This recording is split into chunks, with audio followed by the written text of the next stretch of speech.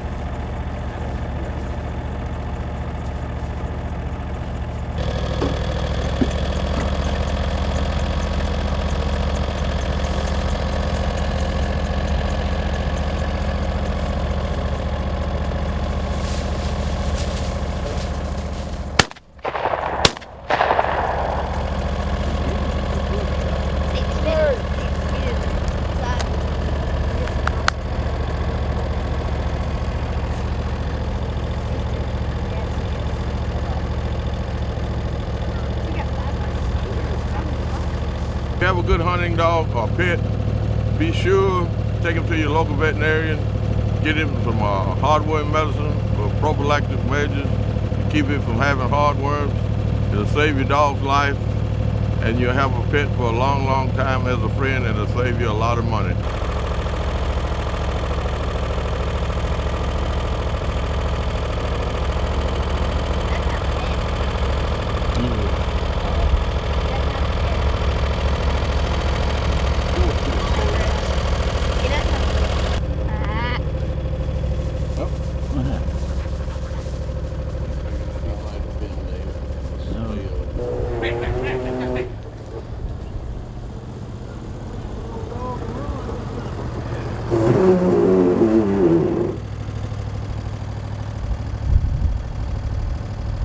First dog we ran was that English Point. Yes.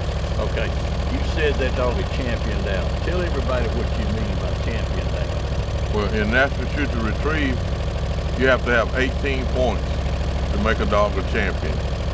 You get uh, three points for first place, two points for second place, one point for third. Well, Sis needed one point to champion out, and I got that last Saturday at the national trial in Newnan, Georgia. She had four first places and one third, and whatever the number is, combination of the other numbers to get to 18. But she has champion out. She's a jam up dog. I know She's you're proud of her. pretty nice dog, pretty She nice really dog. Really. Yes.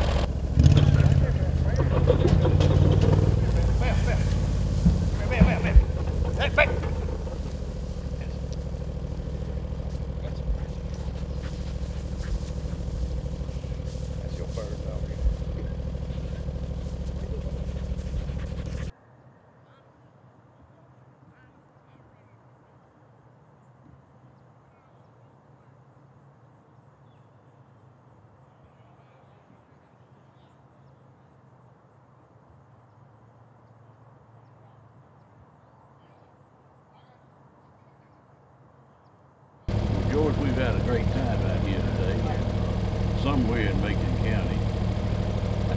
it was a lot of fun. Yeah, we have a lot of fun down there, and we're glad to see you. Want you to come back, We sure want to do that. and uh, we'll always shoot some birds. You Well, can't have no fun, no better than this. That's right. That's right. It was a good CTV day. fame. I'm Steve Abbott. This is George Gordon, buddy. See you next week.